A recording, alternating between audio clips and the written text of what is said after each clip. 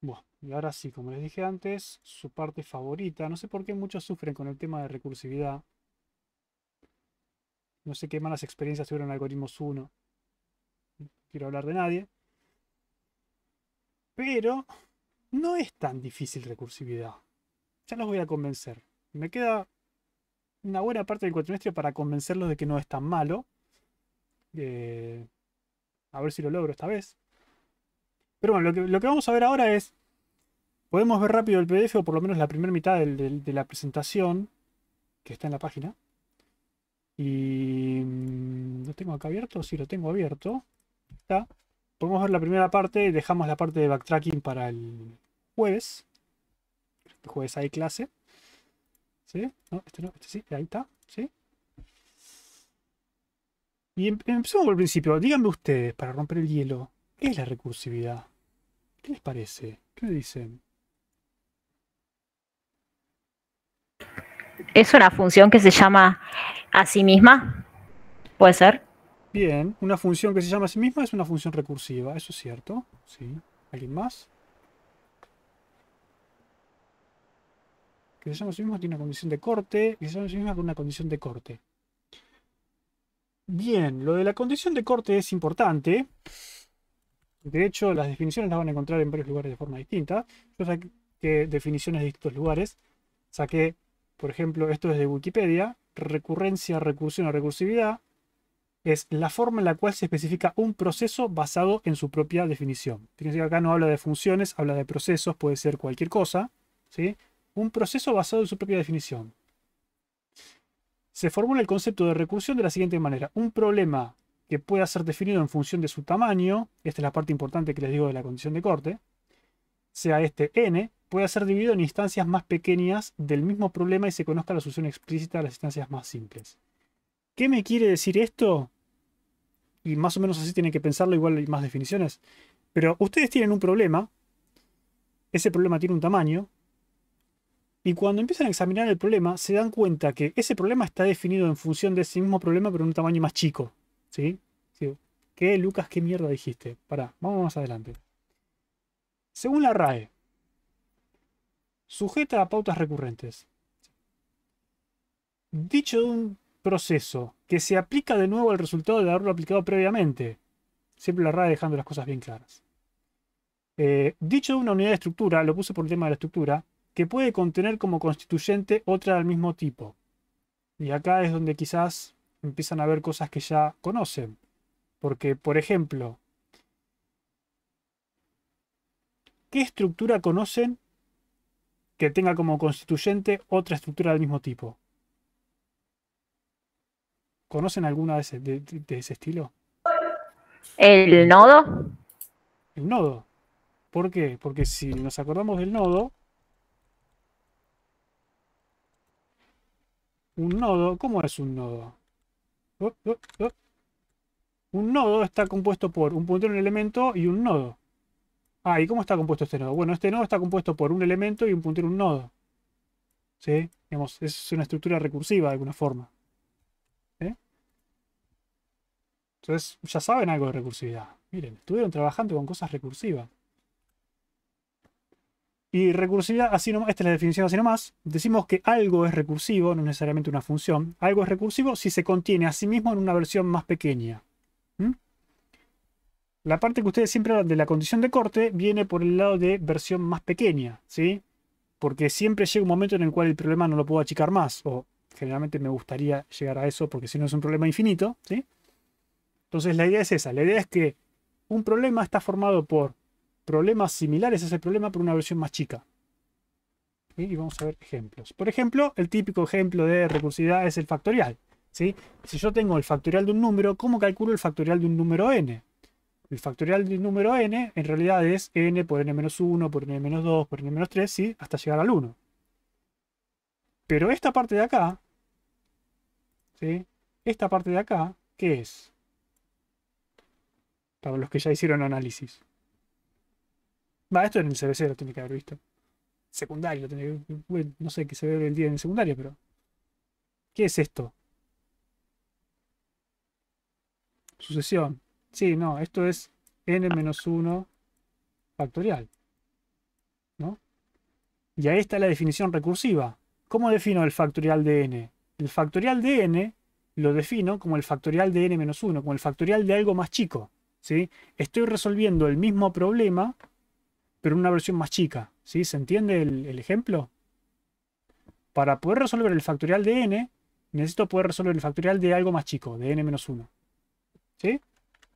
Fin. No, para, apreté mal. Ahí está. ¿sí? Entonces, el factorial de n está definido en función del factorial de n menos 1. El factorial de n menos 1 está definido en, en función del factorial de n menos 2. Y el de n menos 2 en, factorial, en función del n menos 3. ¿sí? El problema se va achicando cada vez más. Es siempre el mismo problema que estoy resolviendo. ¿sí? ¿Se entiende? Se entiende que siempre estoy resolviendo el problema factorial. ¿Sí? Hasta llegar a el factorial de 0, no puedo achicarlo más. Y ahí esa es mi condición de corte. ¿sí? No puedo achicar más el problema. ¿Está bien? ¿Algún problema conceptual Sí, sí. con factorial? Ven que es, es recursivo, está definido de esa forma. Factorial de n está definido como n por el factorial de n menos 1. Ya está definido de forma recursiva. En código esto es muy sencillo. Si n es igual a 0, devuelve 1. Literalmente esto. ¿sí? Y si no, devuelve n por el factorial de n menos 1. ¿Sí? ¿Alguno no implementó en su vida una función factorial?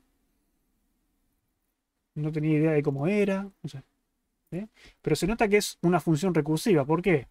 Porque factorial necesita de factorial para poder funcionar. Se llama a sí mismo.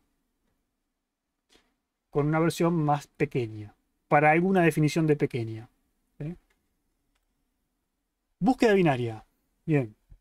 ¿Cómo funciona la búsqueda binaria? ¿Vieron búsqueda binaria en algoritmos 1? Deberían haberlo visto, pero puede que no. ¿Algo- ¿Alguno no vio búsqueda binaria en algoritmos 1?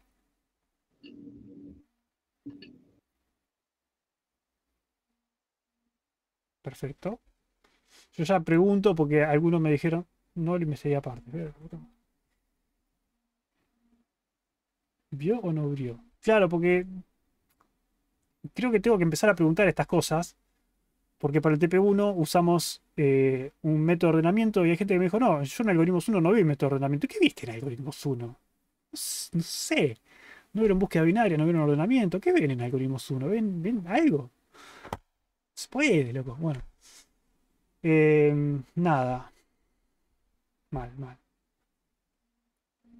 Bueno, búsqueda binaria. ¿En qué consiste la búsqueda binaria? La búsqueda binaria consiste en vos tenés una colección de elementos, un vector de elementos ordenados, ¿sí? De mayor a menor, menor a mayor, lo que sea, pero ordenados. eh, monotónicamente, mo- monótonamente creciente o decreciente.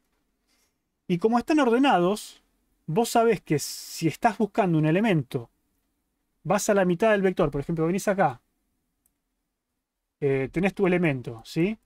Y lo comparás con este de acá, vos con esa información, con esa comparación, podés saber si el elemento que estás buscando estuviese en el vector, si está del lado izquierdo o del lado derecho, ¿no? ¿Por qué? Porque si está todo ordenado, vos sabés si tu elemento es menor o mayor que eso. Si es menor, sí o sí tiene que estar a la izquierda. ¿Por qué? Porque está todo ordenado. Si es mayor, tiene que estar a la derecha. ¿Por qué? Porque está ordenado de menor a mayor. Entonces, de esa forma, vos haciendo una sola comparación, eliminaste la mitad del vector. Sí que te quedaste con la otra mitad. Esa es la búsqueda binaria. Entonces, la búsqueda binaria es un problema que es recursivo. ¿Por qué? Porque ¿cómo funciona? Vas a la mitad del vector, te fijas, lo que estás buscando es menor o mayor, ¿está a la izquierda o a la derecha? Si está a la izquierda, por ejemplo, eliminás el vector, eliminás la parte de la derecha y te queda el vector de la izquierda, ¿no? Vos sabés que tiene que estar por algún lugar de acá. Bueno, ¿y cómo lo buscas? Aplicando búsqueda binaria de nuevo. ¿Sí? Entonces vas de nuevo al centro, te fijas si es mayor o mayor, vas para un lado y para el otro, te quedás con un vector más chico. Y dentro de ese vector más chico, ¿cómo buscas tu elemento? Búsqueda binaria. ¿Sí? Entonces, ¿se, se- se entiende que es un problema recursivo? ¿No? ¿Quieren intentar escribirlo? No sé. ¿Se ve? Pero entonces básicamente lo que ustedes van a tener es, eh, no sé, pongamos int, búsqueda binaria. Sí, entonces van a tener un vector de ints, por ejemplo, int, en este caso un vector de int, una cantidad, cantidad y un elemento a buscar, ¿sí? Y de alguna forma van a hacer cosas que en definitiva van a terminar invocando búsqueda binaria con un vector más chico, ¿sí? Van a tener algo así, cantidad más chica. Y acá van a tener otras cosas que no, no sé qué van a tener, pero van a tener más cosas, ¿sí? Pero en definitiva, búsqueda binaria termina invocando búsqueda binaria. Eso significa que es una función recursiva.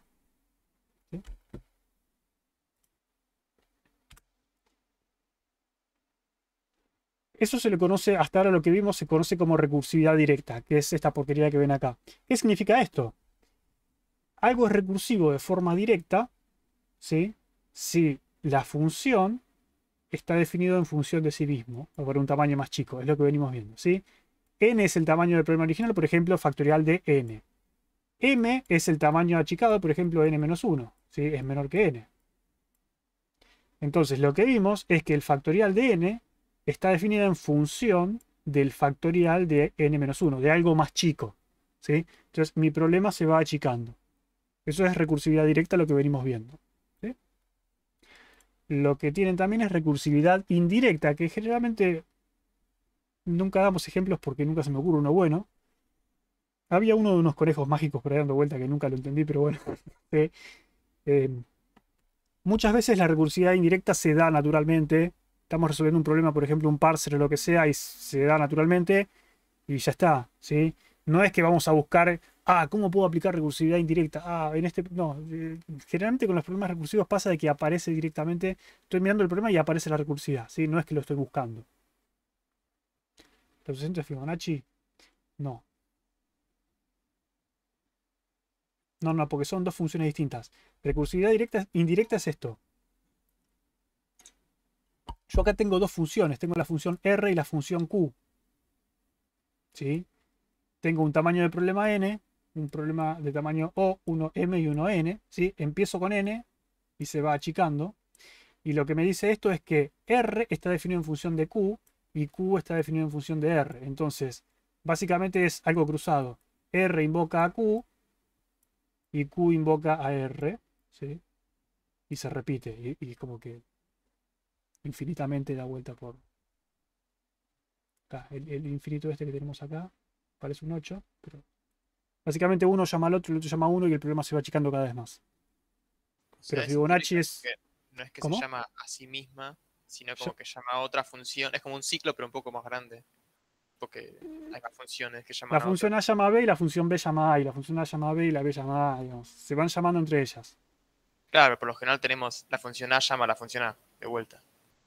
Claro, por eso sería directo. Yo me llamo a mí mismo, directamente es, recursivo directo. Se ve, digamos, es directo. Acá es indirecto porque, de nuevo, hay recursividad, pero no me, no me invoco a mí mismo, sino que me invoco a mí mismo, pero de forma indirecta mediante Q. ¿sí? De nuevo, eso es para que sepan cómo se llaman nada más. Como les digo, no es que vamos a estar buscando problemas. Ah, esto acá puedo aplicar recursividad indirecta. No, esto es algo que naturalmente se da. O sea, una recursiva invoca a otra recursiva y C. Bien. Más definiciones. En realidad, antes que ver definiciones, quizás estaría bueno ver Hagamos una función recursiva. El factorial no lo vamos a hacer porque es muy fácil. Eh, lo que sí podemos hacer es, por ejemplo, supónganse que tengo un vector, ¿sí? Y yo quiero mostrar, o, texto, sí, mostrar, sí, la más fácil siempre es mostrar texto, ¿sí? Yo tengo texto. Mostrar, em, Esa no, esa, si, hago, si hago eso los complico. Pero lo que quiero hacer es lo siguiente. Tengo un texto y quiero mostrar el texto, pero cambiando cada carácter por el próximo carácter en el, abecedario. ¿sí? O en el ASCII, según corresponda. Entonces, mostrar eh, sumando uno, si quieren. Entonces, básicamente, ¿cómo, ¿cómo, implemento esto con un while o con un foro, como sea? ¿Cómo lo implementarían? Quiero mostrar cada carácter, pero sumándole uno. Un for, un while, no sé, tírenme. Algo.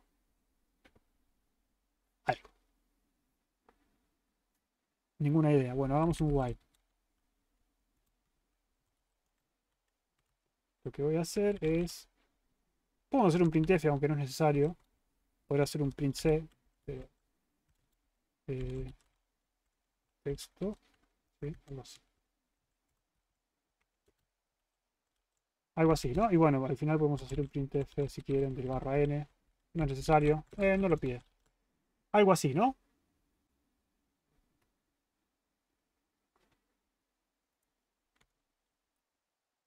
Eh, hagamos que esto sea mostrar sumando 1 de arg de 1.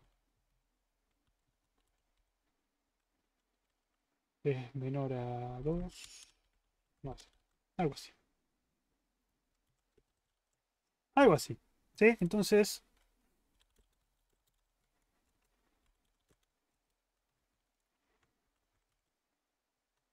Entonces si pongo hola, no corta nunca porque me olvidé de hacerle más más en algún lugar. Acá sobre todo. Si no avanzo de carácter, no va a avanzar de carácter. Texto más más. Ahí está. Y si no lo compilo tampoco. Ahí está. Ahí está, ¿sí? En vez de hola me, me, me imprimió esto. En vez de HI, en vez de OP, LM, ¿sí? ¿Se entiende? Estamos todos en la misma página, ¿se durmió alguno? Si se durmió no me va a contestar, pero...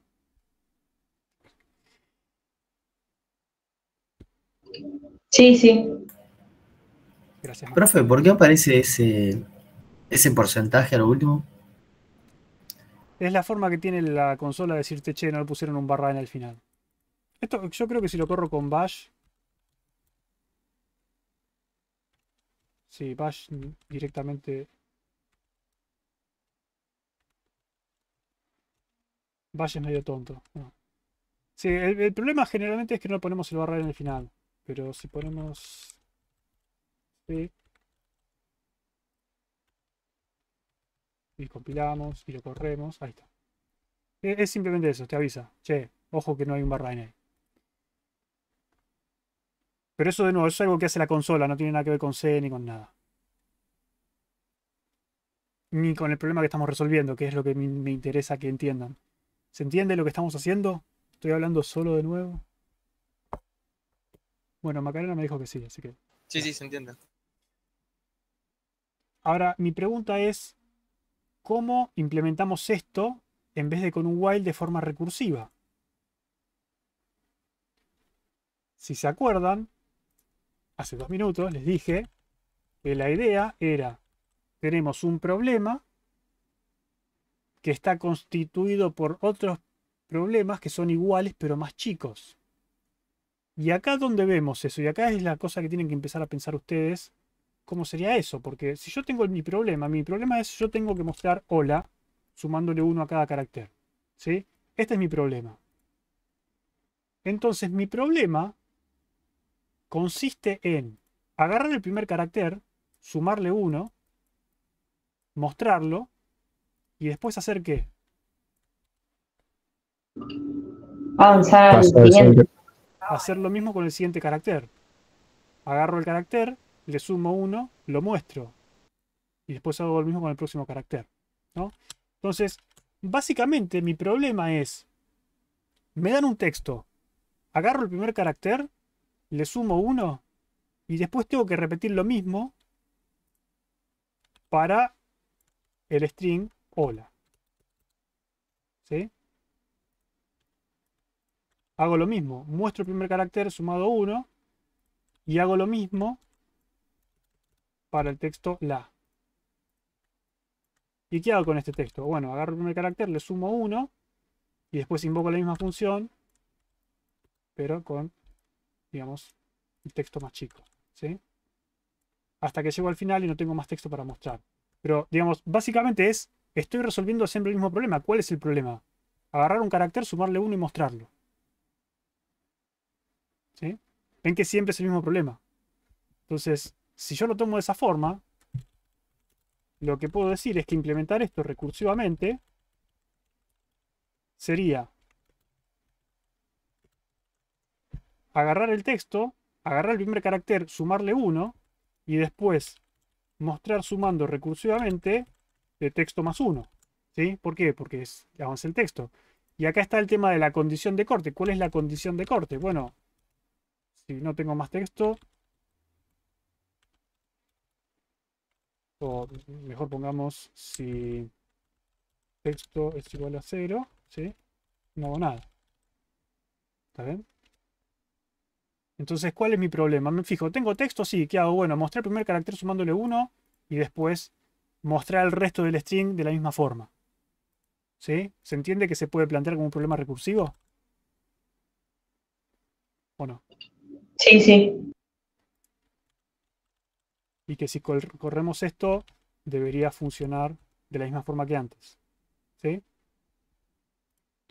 ¿Está bien? Ven que no es. Hicieron algo recursivo y no es, no es nada. No se fumaron nada. No, no es nada raro. Es tipo, Nada, es ver el problema de forma recursiva, nada más.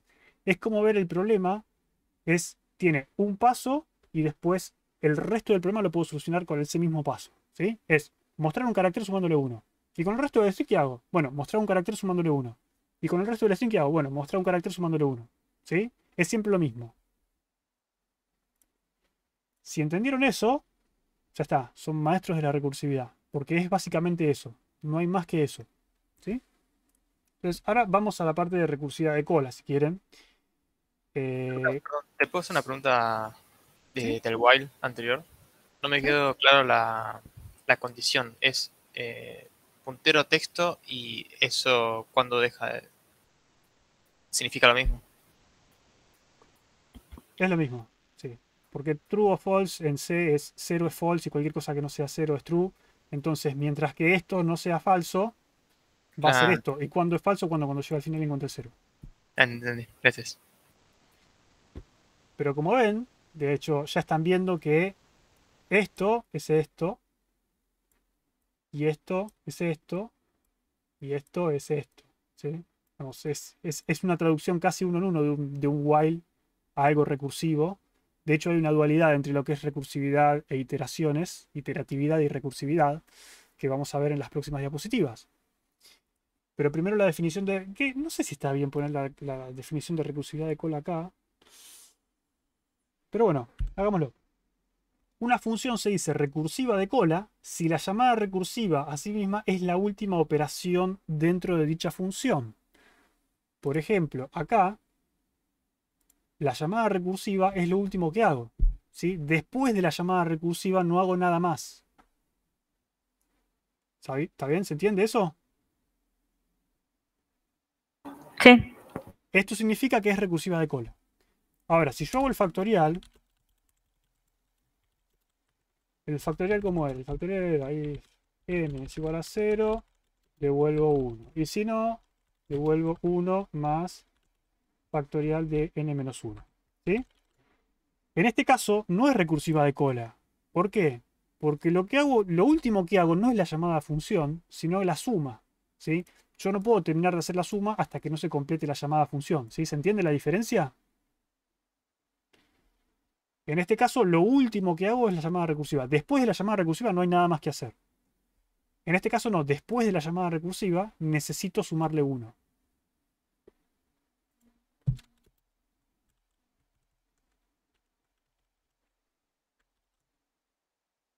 ¿Qué parte, Belén?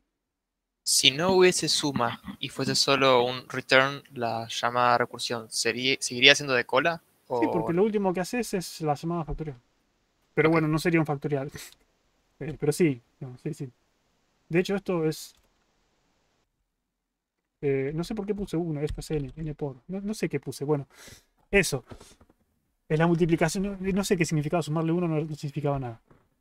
Em, pero básicamente esto no es recursivo de cola y esto sí es recursivo de cola. Esto, de nuevo, si fuese, como decía el compañero, si esto fuese un return, es, recursivo de cola, ¿sí? Lo último que hace con el valor es devolverlo, no hace nada. ¿Por qué en el factorial no sería de cola? Porque tiene que esperar a que la llamada de recursiva termine para poder multiplicar. ¿sí? Entonces, lo último que hace no es la llamada recursiva, sino la multiplicación. ¿Sí? ¿Se entiende ahora o no?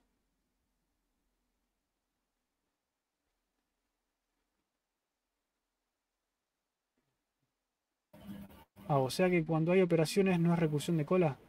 Cuando haces algo más después de la llamada función, no es recursivo de cola. La llamada función tiene que ser lo último que haces en esa función. Lo cual no significa que tiene que estar abajo de todo, ¿no? Digamos.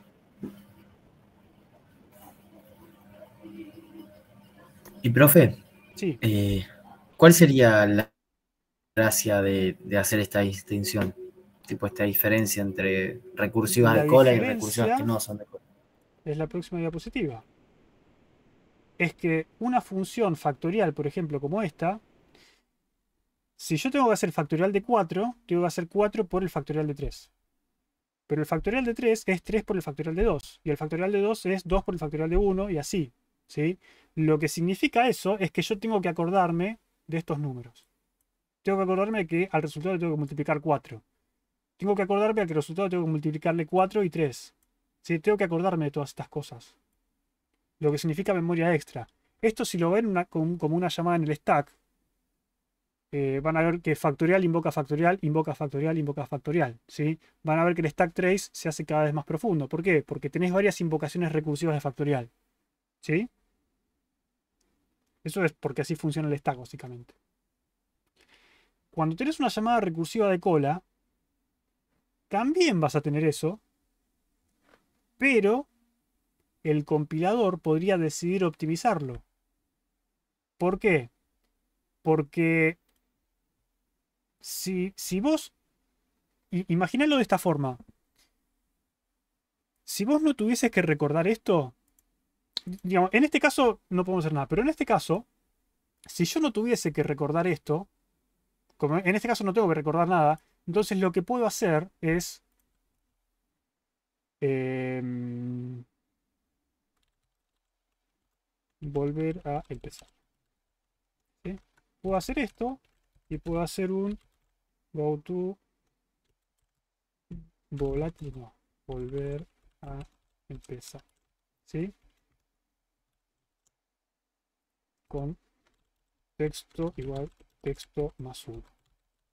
¿Qué significa esto? Bueno, goTo, como saben, como saben, goTo es una forma de decirle volver a ejecutar acá. Es, es una forma de decir arbitrariamente saltar a algún lugar. ¿sí? Entonces, esto significa, va a hacer todo esto y cuando llegue al goTo va a saltar acá. ¿sí? No invocó una función. Volvió a saltar acá arriba. ¿sí? Saltó. No- hizo una llamada, sino que saltó. ¿sí? ¿Todos ven eso? No les estoy diciendo que hagan esto, no lo hagan, por supuesto. Lo estoy diciendo que Sí, sí, es, es equivalente. ¿Sí? Y puedo hacer esto, ¿por qué? Puedo hacer esto porque. Porque no me interesa recordar nada de lo que estaba usando. ¿Sí? Yo modifiqué los valores que quiero, vuelvo al principio y sigo ejecutando como si nada. Acá no puedo hacer esto. ¿Por qué? Porque si yo tengo resultado igual al resultado del factorial, y hago n por resultado, que es básicamente esto lo que está pasando, no hay ninguna forma de que yo pueda hacer esto lo mismo, ¿sí? Eh, nada, tengo una etiqueta ahí. No hay, yo, no puedo hacer un go to a, la, etiqueta F0, digamos, no, no puedo hacer eso porque, digamos, me tengo que acordar el valor de n, ¿sí? Yo si hago eso tendría que ser n menos menos o n igual a n menos 1. Y si hago n igual a n menos 1, está bien, voy a venir acá. eh, digamos, es, es- difícil eliminar esto con un goTo. No, no puedo hacer lo mismo que hacía antes. No puedo decir, bueno, n es igual a n menos 1 y salto para arriba. Porque necesito todos los n's. ¿sí? En definitiva, lo que pasa es eso, necesito todos los n's. No puedo calcular el factorial sin tener todos y cada uno de los n's anteriores. No puedo hacer eso. En este caso sí puedo, ¿por qué? Porque nada de la información que tengo en el medio me interesa. Entonces puedo descartar todo, volver al principio, no me importa. Muevo el puntero para adelante y sigo como si nada. Bien. ¿Y eso qué me importa, Lucas? Bueno, lo que te importa es que el compilador para estos casos, que son recursivos de cola, puede decidir que en vez de hacer una llamada recursiva, que es costosa, ¿por qué? Porque ocupa espacio en el stack y ocupa tiempo, en vez de hacer eso, puede decidir introducir un salto local, que nosotros no lo vemos, ¿no? Esto es cosa del compilador, yo no lo veo, nadie lo ve. Del Wi-Fi. Puede ser. Y, básicamente ese es el fin del, cuento. ¿sí? El compilador podría llegar a decidir optimizar nuestro código de esa forma. Y es como funcionan muchos lenguajes. Python no sé si tiene recursividad de cola, creo que sí. Pero por ejemplo, Scheme, eh, por, por cómo está definido, tiene que sí o sí tener recursividad de cola. Te lo exige el estándar. Bueno, el estándar. Sí. No nos metamos ahí. Pero, digamos, hay lenguajes que necesitan sí o sí la recursión. Porque no tienen mecanismos de iteración, por ejemplo. ¿sí? No tienen while. Entonces, ¿cómo hacen un while si- no tenés un while? ¿Cómo, hacemos una iteración si no tenemos, no un while? Bueno, con, con recursividad. Che, pero la recursividad es ineficiente porque por cada llamada estás metiendo cosas en el stack. Bueno, pero si haces recursividad de cola, el compilador te lo optimiza. De nuevo, en C no está asegurado que GCC o que Clang te lo hagan, pero puede que lo hagan. ¿Sí? Entonces la distinción es importante por eso. Es simplemente para que se lleve la definición de que la recursividad de cola existe y lo que hace es aplanarnos este stack trace, ¿sí? todo el espacio que va ocupando la llamada recursión en el stack, el compilador puede encontrar una forma de deshacerse de eso y que quede todo una línea, digamos. ¿sí? El espacio que uso en stack es constante. Porque siempre que hablamos de complejidad hablamos de tiempo, pero la complejidad también existe en espacio. ¿sí? Esta solución usa una, tiene una complejidad espacial o de n, porque necesita usar ese espacio en el stack. Esta solución, que es un factorial recursivo de cola, eh, utiliza espacio si el compilador aplicara la optimización, si estamos atados a eso, si el compilador aplica la optimización, la complejidad espacial de esto es O de 1, porque no importa qué tan grande sea el factorial que, quiero, que, quiera calcular, el espacio que necesito en el stack es siempre el mismo. ¿Sí? ¿Tiene algo de sentido todo esto que les dije o es una porquería?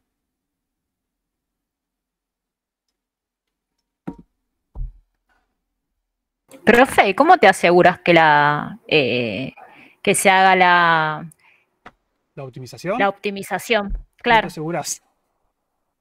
Ah, La única forma de asegurarte es que el estándar del lenguaje te lo asegure.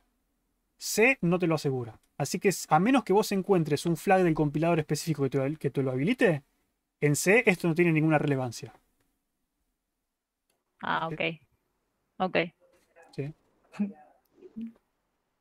Podría ser que... Profe.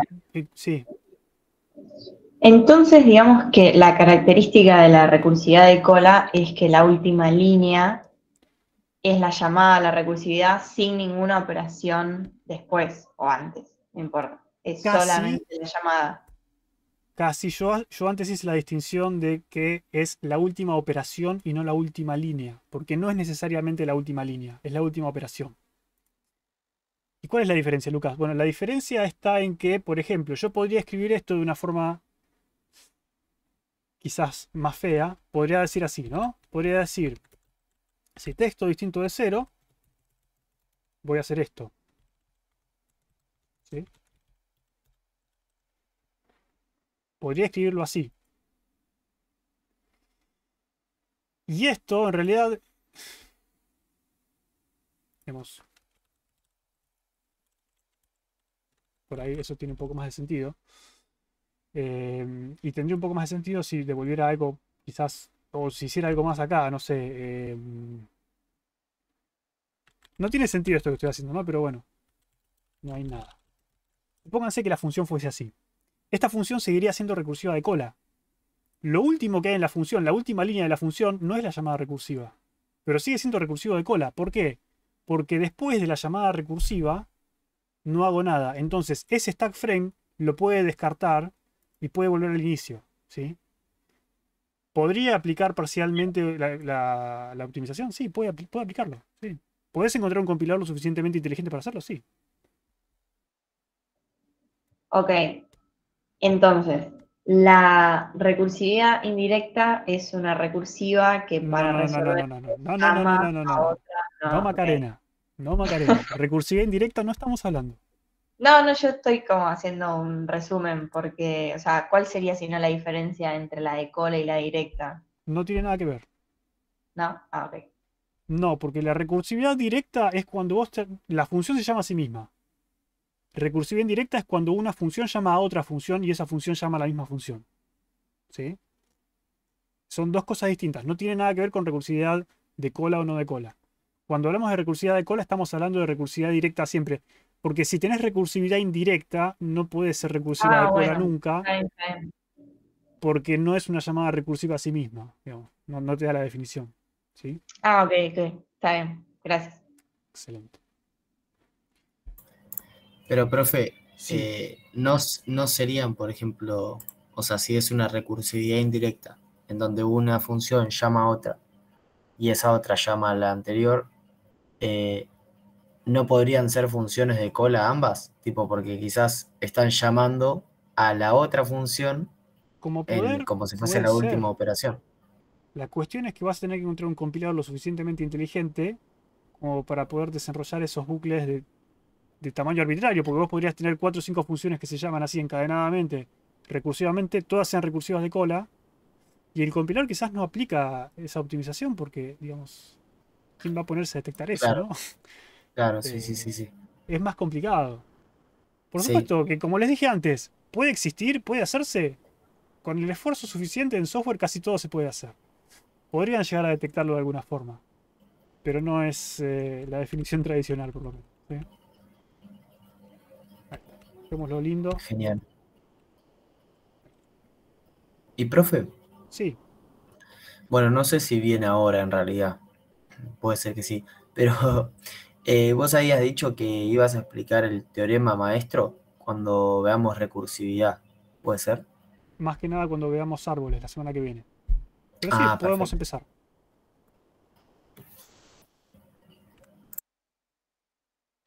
Como les dije antes, hay una dualidad entre lo que es recursivo y lo que es iterativo. Bueno, ustedes ya lo vieron acá. Ya vieron que esta función iterativa y esta función recursiva son iguales. Sí, bueno, esto no que ver. Es lo mismo. Yo acá lo que hice fue escribir una función iterativa de forma recursiva. Y lo puedo ver de la otra forma también. Escribe una función iterativa. de- escribe una función recursiva de forma iterativa. ¿sí? Son dos caras de la misma moneda, iteración y recursión. Incluso como les dije antes, hay lenguajes que no soportan iteración. Hay lenguajes que no tienen while, que no tienen un for. Un cuatrimestre hicimos el ejercicio, pusimos un- una versión de Scheme que no tiene while ni for ni ninguna construcción iterativa y construimos nosotros una, una construcción iterativa usando recursividad y macros y cosas raras. Eh, pero sí, básicamente ustedes pueden crear un while primitivo usando recursión. ¿sí? Entonces, recursividad e iteratividad están mucho más relacionados de lo que ustedes piensan. Eh. ¿Cómo es el nombre de ese lenguaje que acabas de nombrar? Es Scheme. En realidad hay muchas versiones de Scheme. ¿sí? La que usamos en clase creo que usamos Herville. Pero posiblemente también tengan instalados por ahí, no sé. Gam- no, Gambit seguro que no. Eh, la de GNU, ¿cómo se llama? Guile. Sí, esa seguramente si yo hago una consola la debo tener. Sí. Este, este es un Lisp. Eh, implementa recursividad de cola, todo. Pero, digamos, queda para otro día.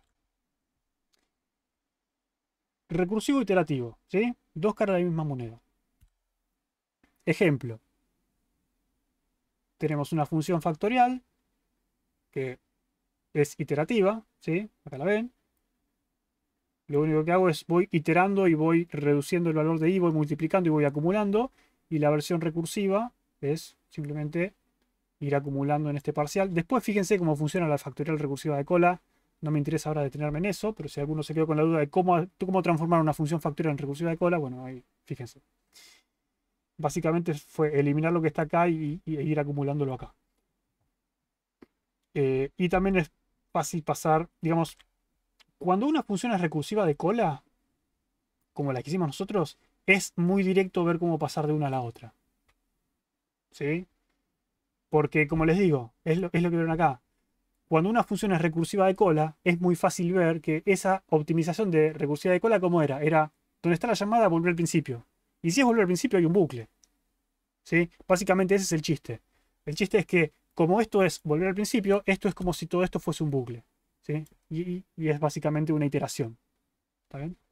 Cuando es recursivo de cola es muy fácil de ver. Cuando no es recursivo de cola,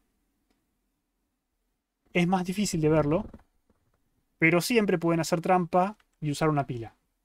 ¿Sí? Entonces yo tengo este factorial que no es un factorial recursivo de cola, y lo puedo transformar a algo iterativo como, bueno, usando una... e- Este pila.push, esto es...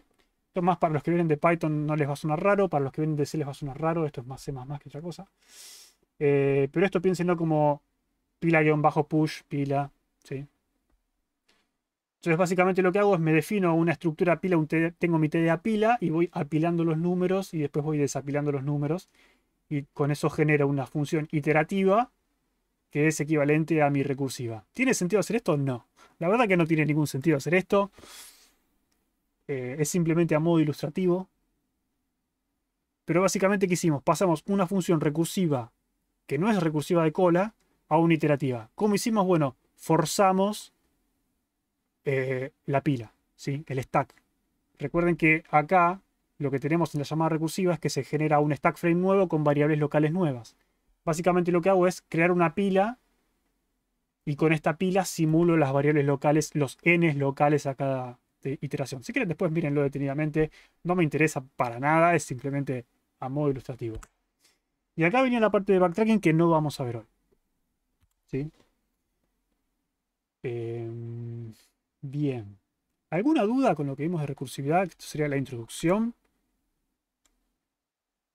Podemos hacer un ejemplo más de esto de recursivo para que vean una cosa que les cuesta mucho entender, que es lo siguiente. Voy a hacer una función que lo que va a hacer es mostrar texto, que esta es la, la que no quise hacer al principio. Texto. ¿sí? Puede tener esta función. Y esta función lo que va a hacer es básicamente lo mismo que hice antes, carácter a carácter, pero en realidad yo no quiero mostrar el texto normalmente, porque si no sería muy aburrido, sino que lo que quiero hacer es mostrar el texto invertido.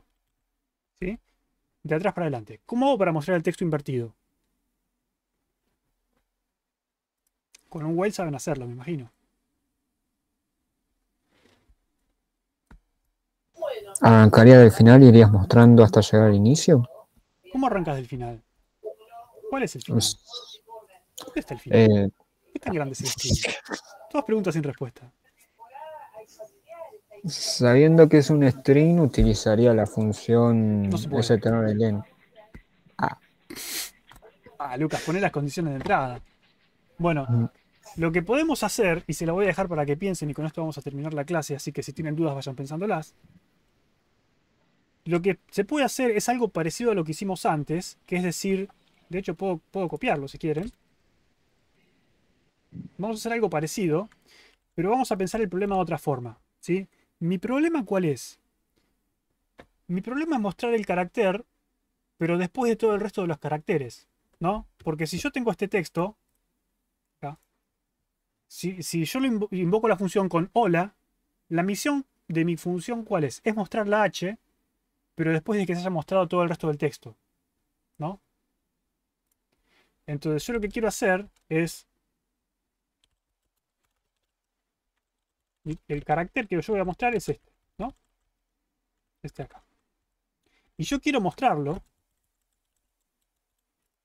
pero en realidad no quiero mostrarlo ahora. Quiero mostrarlo después de que se hayan mostrado todo el resto de los caracteres. Entonces, primero voy a mostrar todos los otros caracteres. Y después voy a mostrar el carácter yo. ¿Sí? Pero fíjense que es lo mismo de antes. ¿Cuál es mi problema? Mi problema es mostrar un carácter después de que se hayan mostrado todos los demás.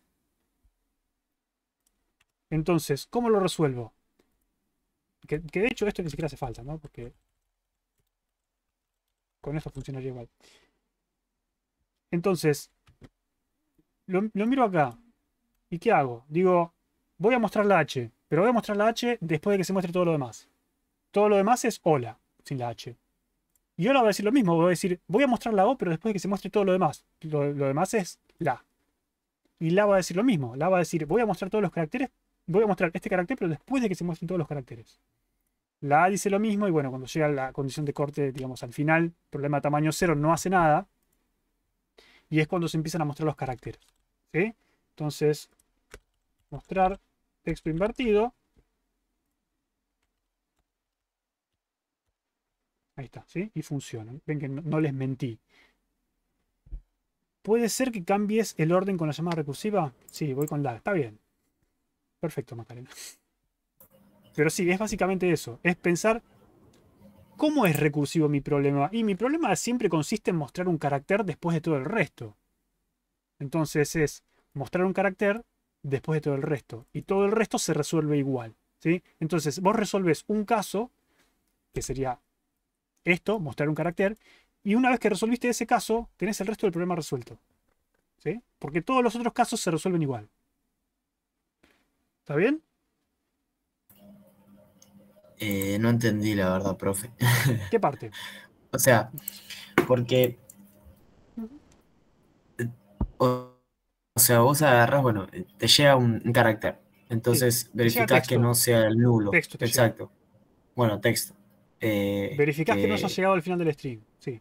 Exacto. Y después si se llegaste manda. al final del string, eh, no hay nada para mostrar, porque te mandaron un string que estás en el final, no hay nada para mostrar. ¿sí? Claro, sí. Eh, y después se llama de vuelta a la función y se le manda a la siguiente posición de memoria, la siguiente dirección. Y, En O vez sea, de mandarse vuelve- hola con H, se manda hola sin H. claro, exacto, sí. Y, eh, bueno, básicamente vuelve a verificar que no sea de cero y se vuelve a mandar la siguiente ahora. Tendría que ser la. Después así está O. Y luego, una vez que eh, llegó al final, devuelve return. O sea, nada. ¿Dónde devuelve return? Ahí en el Acá. if, eso. O sea, llegó al final, ¿no? Porque va a mandar la siguiente posición. Cuando, cuando mandó el, el esto- por A, eso- pará, manda la por- siguiente. Por eso digo que esto es lo que les cuesta más. Y lo que vamos a hacer, vamos a correrlo con GDB. ¿sí? Para que veas cómo funciona. Eh, ah, ¿cómo era esto? Para pasar argumentos era... args. Hola, ¿así era? No, no era args. Era con guion R. Guión R ¿no? ¿No era así? ¿Alguien me dice cómo era que se le pasaban argumentos a GDB si se acuerda? Bueno, de hecho, hagamos set args hola. Y ya no, no suframos más. Listo. Ahí le, le pasé argumentos hola. Eh, entonces vamos a empezar a ejecutar esto. Voy a mostrar texto invertido. ¿sí? Se va a llamar la primera vez. Y acá te muestra. Se llamó con el texto hola. ¿Sí? Entonces vamos a ir avanzando. Avanzo. Y acá se va a llamar con hola. Acá te lo muestra. Y avanzamos y se llama con la. Y avanzamos y se llama con a. Y avanzamos y se muestra con. Y se llama con el, el string vacío. ¿Sí? Hasta acá estamos bien, ¿no, Sebastián? Sí, Entonces vos llegaste hasta acá. Ahora lo que vos me decís es que llego hasta acá, voy a fijarme texto. Y texto es cero. ¿Sí? exacto. Entonces va a salir con el return. Sí. Y cuando salga con el return, ¿qué va a hacer?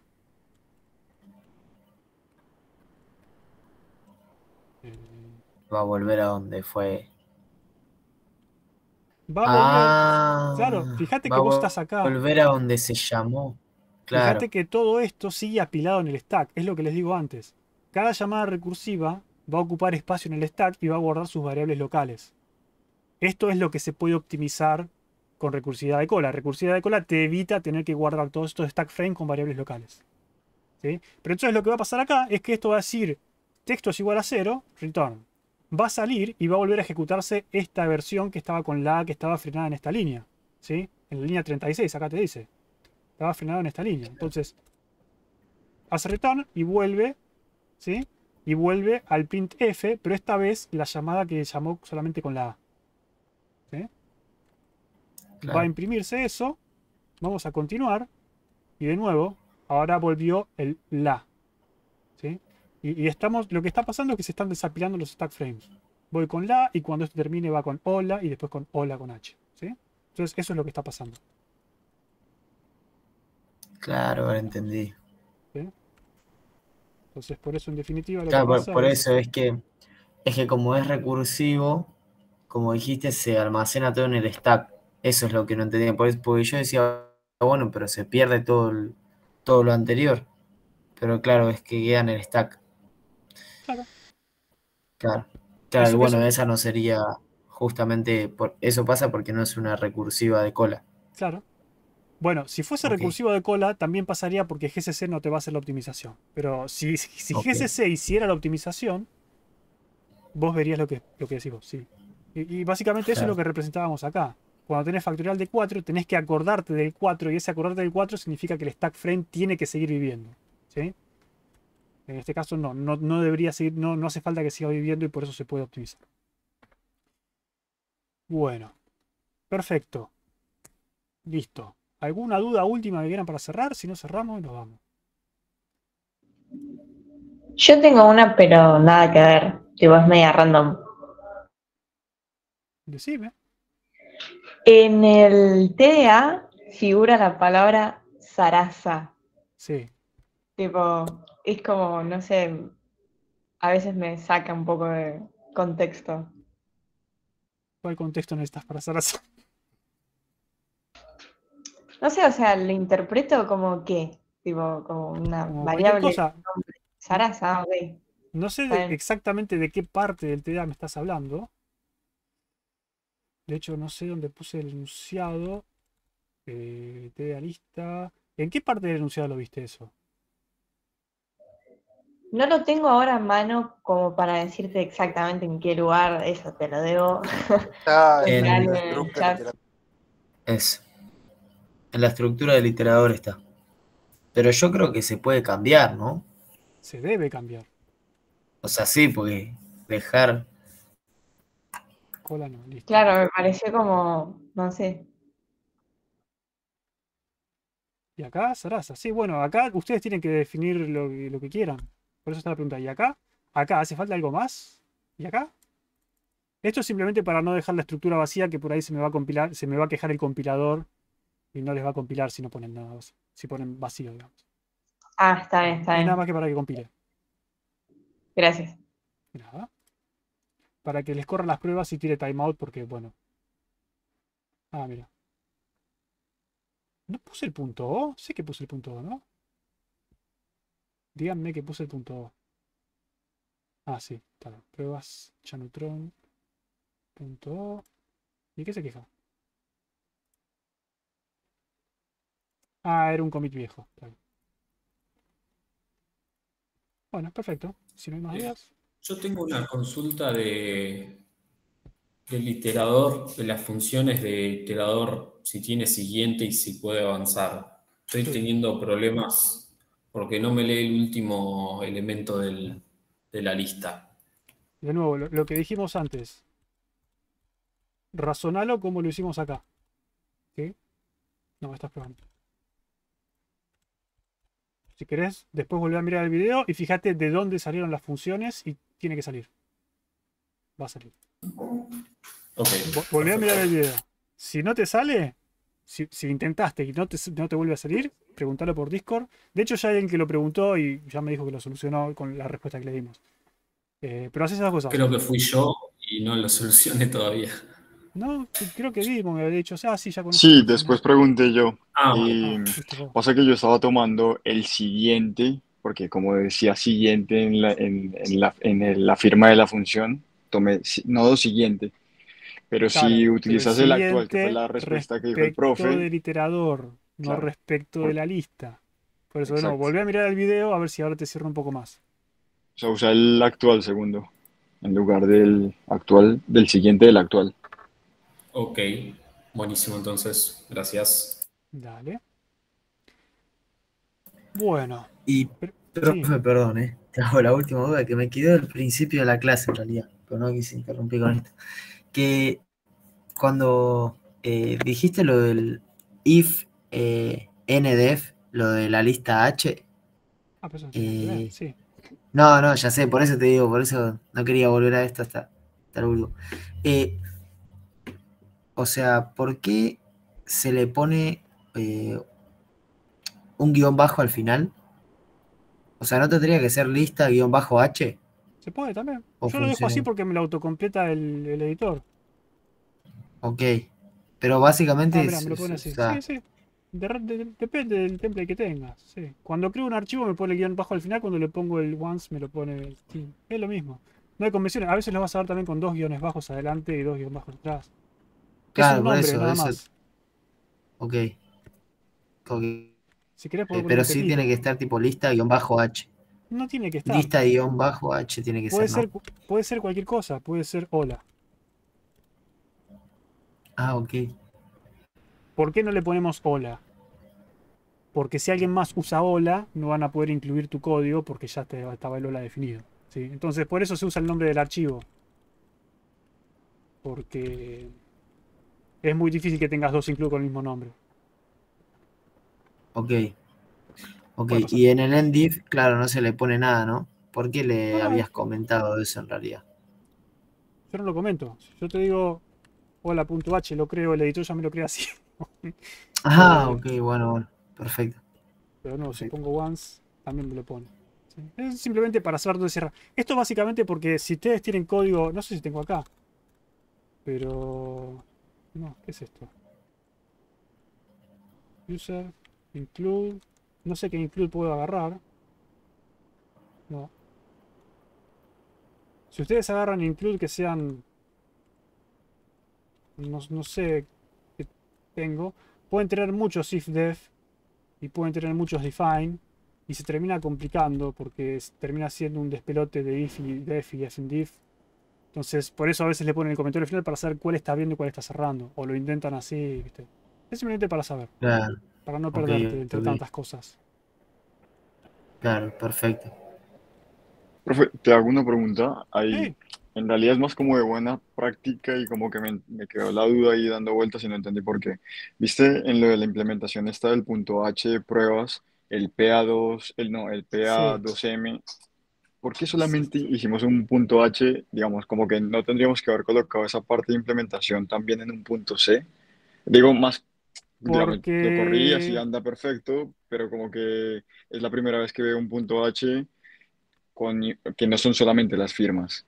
Sí. Digo como, va, no sé, es más por... ¿Por qué? Porque de esta forma ustedes directamente compilan su programa sin, sin tener que compilar nada más. Claro, el toque. Pero principalmente es por un tema de que así son 50 líneas de código que ustedes las ven y son fáciles de entender, está todo junto. Que si con el punto C, claro, el punto C que H. Pero es exactamente lo mismo. Eh, Pero digamos, es- buenas es prácticas mejor- de es mejor hacer una hacerlo como decís biblioteca. vos. Ok, ah, bien, genial, Meter perfecto. código en un punto H a la larga te va a traer problema. Y si quieren hacer cosas complejas con esto, les va a traer problema. Sí, sí, es- ok. Y sí, no está como tan claro para verlo, pero bueno, genial. Gracias, profe. Nada. Bueno, así cerremos. Gracias a todos por venir y nos vemos la clase que viene.